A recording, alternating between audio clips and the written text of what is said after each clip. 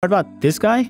Yeah, Joe Rogan. He signed a multi-year $200 million licensing deal with Spotify in 2020. As a part of the agreement, Spotify gained sole distribution right for Joe Rogan's experience. Joe Rogan's podcast generates additional revenue from advertisement and his Spotify partnership. His podcast reportedly brings around $100,000 per episode from advertising.